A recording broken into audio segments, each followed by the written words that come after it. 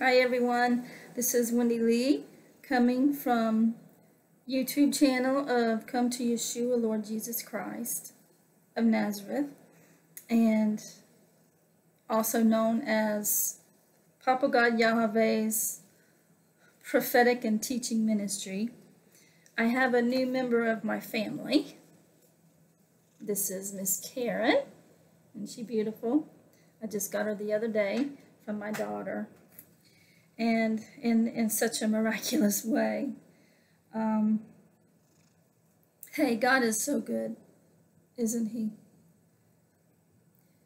He can just turn the most critical, depressing, heart-shattering moment. He can just turn it around and make things new just like that in your life. That's what he did with Karen here. Karen was a gift from God, just exactly when I needed her. So I thank God for her. I thank God for his miraculous ways, his, his loving, gentle, sometimes stern but needed treatment of of me and and you guys. Because we can be disobedient children. And we need to be set in line again. Just like we're parents and we need to set our children in line we need to be set and to refocus on what's important. And what's important the only person that's important is Jesus Christ. Our very life is about Jesus Christ because he created us to have relationship with him. Hallelujah. So you'll probably see Karen on and off my lap in this video. She's the sweetest little kitty. So I'm going to give you Father's messages from 5th to the 7th. And I received the one on October 5th at 12:41 a.m. Daughter, Wendi Lee, write Father God Yahweh, Elohim, Adonai's words that you are hearing directly from me. Father cautions my saints do not think you know my plans or my ways. If anyone says they speak from me, Jehovah God Almighty, you must have discernment. Not in my holy word, not from me, your holy God. There are many who try to ride on the coattails of my true prophets and use recycled messages with their lies. Father is warning, ask me in prayer, my saints. Father truly has my prophets, and they have been ordained directly from my son Yeshua. Be aware of the counterfeits. If it does not bring my people any hope, then flee from it. For Father doesn't want any of my creation to languish in my fires in hell. My messages are to warn and to present my son Yeshua's loving kindness in his free gift. Sometimes Father needs to add chastisement and sometimes much encouragement, but they will always point to my only begotten Son, Yeshua HaMashiach. Remember, God gives his glory to no one. So beware the wolves are running scared as Father exposes them bare. Run they will try, but they cannot escape from my all-seeing eye. The devil has promised them pie in the sky, but oh, does he lie. They chose to fall for it, but now they have fallen from it. The bell that is cracked will soon be hijacked. For the devils can't stand for what it stands for liberty. Father tells you with much glee, You'll be in my ready army, and all will be alarmed.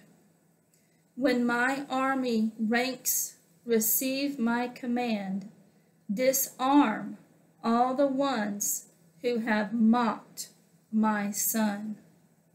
Father loves. And Thursday, October 6th, Father's message, 12:14 a.m. Excuse me.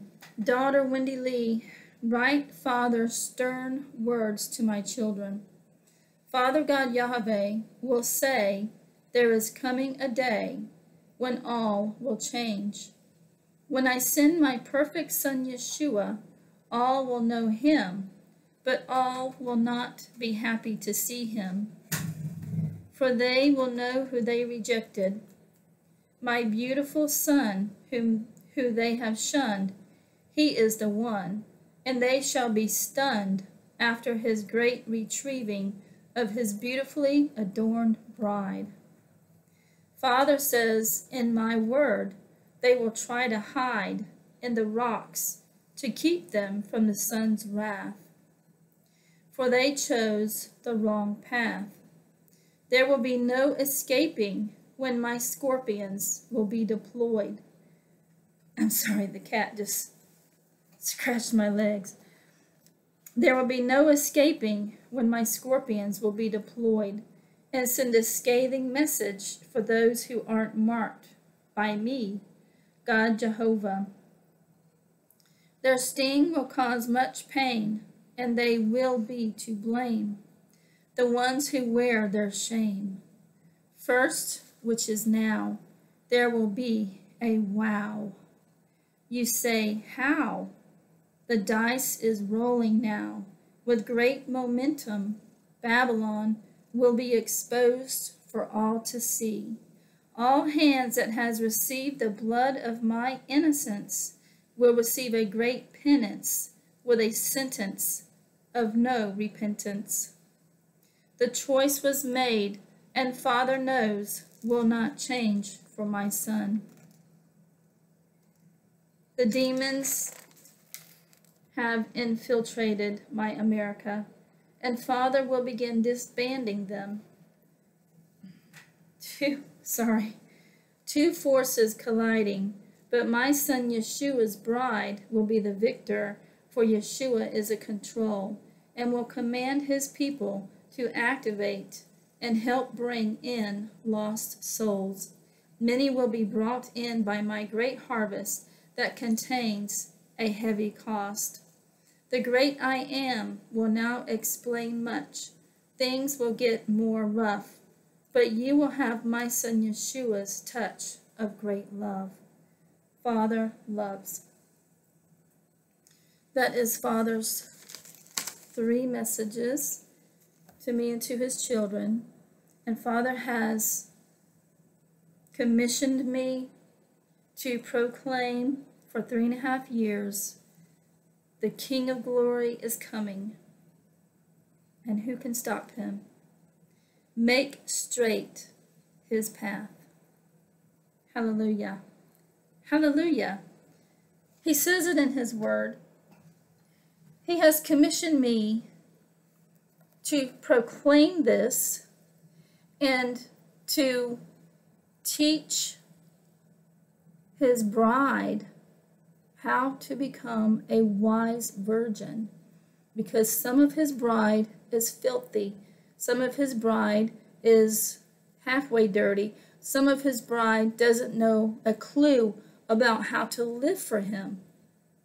That's why he has me up here proclaiming, make straight his path. We don't know when Father's going to send his son, but we do know he's going to send him.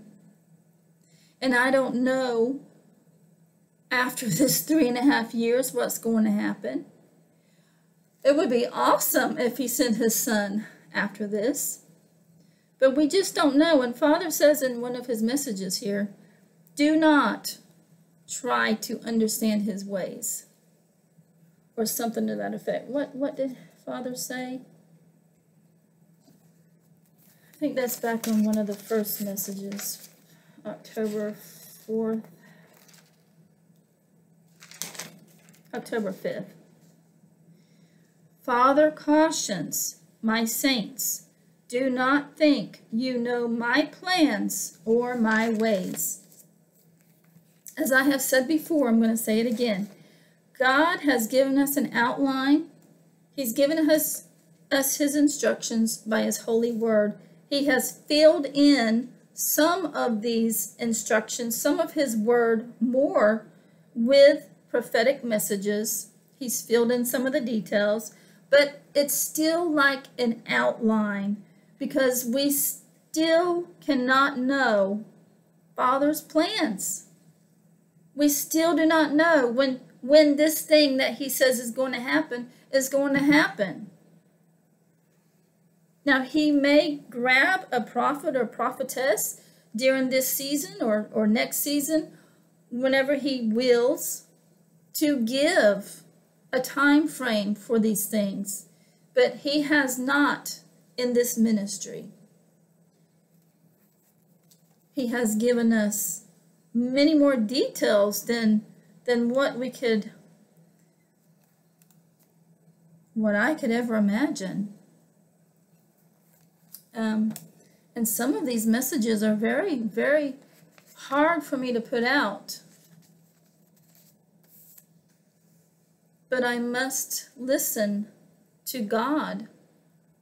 I'll go back to what his scripture says. When, when Peter and the other disciples were beaten for preaching Jesus, we should obey God rather than men because they were telling him or them, the disciples, not to preach in that name. And Peter said, We must obey God rather than men. Well, God Almighty has placed me in this ministry, and I will obey God rather than men. And I will say Father's messages. And I will preach the holy word of God and and give you at least bits and pieces.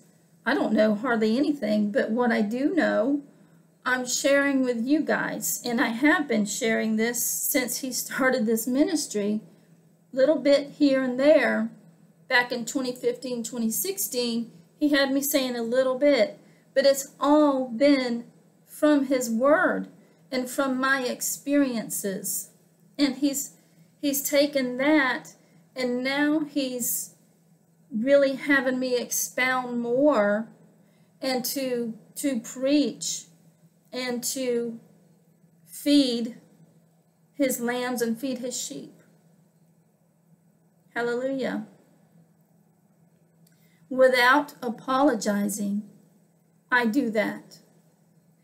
I expound on his word and I and I and I preach through my experiences from what he has taught me directly and sometimes indirectly. But we we must let the Holy Spirit teach us and and uh, and show us how to live for Christ. And this is simply an aid to do that. But absolutely, certainly listen to the Holy Spirit. Because what I can say that God has taught me absolutely 100% is you cannot box God in. Don't even try it. Because you will fall on your face when you box God in. I know because I have tried it. You will fall. So let God work in your life the way He wants to, not the way you say He has to, the way He wants to. Because when you tell Lord Jesus that you don't want Him to do a certain thing in your life, guess what? He's not going to do it. He won't go against your will. There are different layers to that. The first is giving your heart, mind, soul, body, free will to Jesus. Your free will, all and forever, to Jesus once. Then after that, your free will as you live daily in this life. That's what I'm talking about. He won't go against your free will. He has you. You're not going anywhere. You may think that you are too far gone in in I've done this sin and how can I get back right with the Lord? Repent. You get on your face, your knees, or if you're physically unable to do that, God knows your heart. But you repent and you feel and, and you tell him how sorry you are for that for that sin, for sinning. And you get back up and walk forward in him. That's the key. Walk forward in him, not backwards. Don't remember that sin because the devil relishes for you to remember that sin and say, uh-uh. The devil's saying, uh-uh, you can't walk forward in King Yeshua because you have this sin back here. Well, you tell the devil, Jesus has forgiven you of that sin back there. And you walk forward in him. Hallelujah. So we must repent. We must put on our holy armor of God, Ephesians 6, uh, 10 through 18. And I'm going to look up that scripture about uh, capturing our thoughts. I apologize I didn't know it earlier.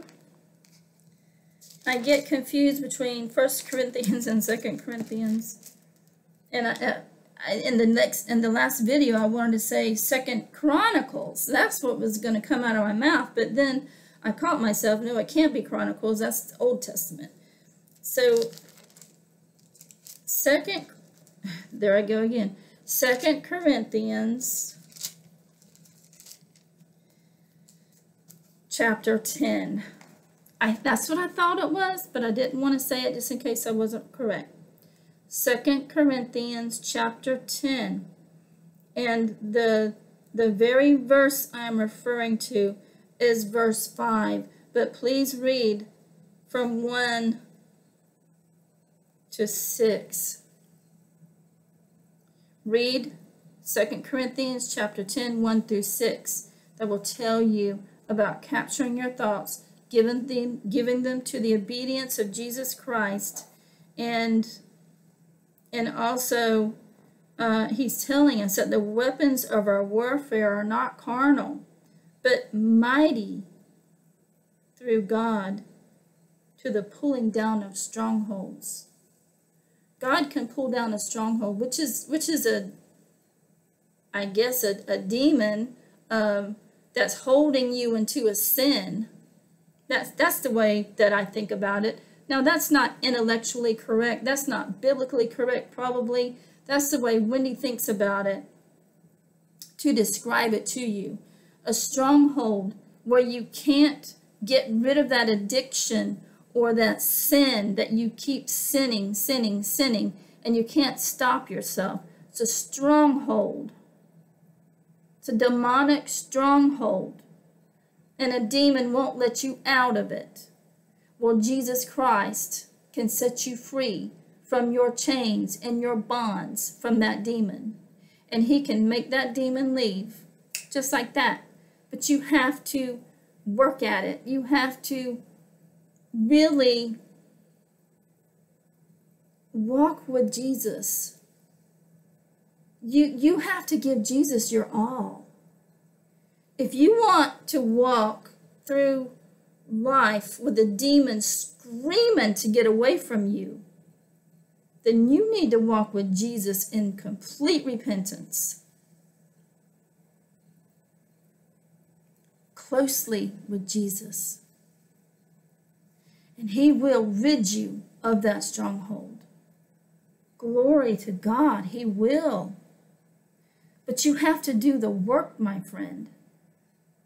He did all the work for us on his cross. He expects us to work also. It's two sides to a relationship, right? This is a relationship between you and Lord Jesus. And we have to work, and he he's done all the work.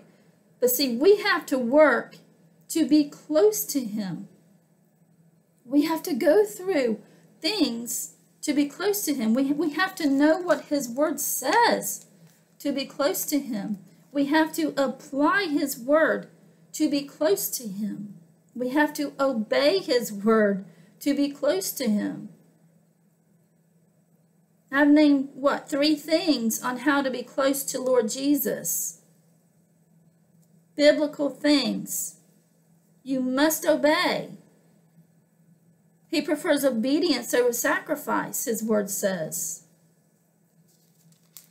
You must read his word. You, you must read his word and carry it in your heart, like a frontlet on your forehead, like they did in the Old Testament, and tell it to your, your family and your children. Of course, we have the scriptures now. But in the Old Testament, God said to, to keep alive what God has done for them. Talking about the Jewish people, the, the Hebrews. Keep alive, telling your children and your grandchildren about what wonders God has done for them. We are to still do that. And we have His holy word now. So we need to teach our children God's word. That's a huge problem today none of the children hardly are, are reared up, are, are taught God's holy word. Now, I'm not going to get into the indoctrination of the public schools. I'm, I'm not going to get into all that. But I am. In one of these videos, I am. I'm going there. It's important because every aspect of our life is affected. So we need to stay in God's Word. We need to stay in repentance. And we need to stay obedient. Hallelujah. Now, if you if you have committed a sin and you get hit by a bus, does that mean since you didn't repent for that sin that you're going to go to hell? If you believed in Jesus Christ and, and you accepted him in this life, you're going to heaven. It all depends on how you lived your Christian life, how you live in heaven with Jesus. Hallelujah. Hallelujah. So that's all I have for now. And I pray that Jesus blesses you so much in your walk with him and that you will dig deep into his word and keep it in your heart. Hallelujah. To the King eternal, immortal, invisible, the only wise God, be honor and glory forever and ever. Amen and shalom.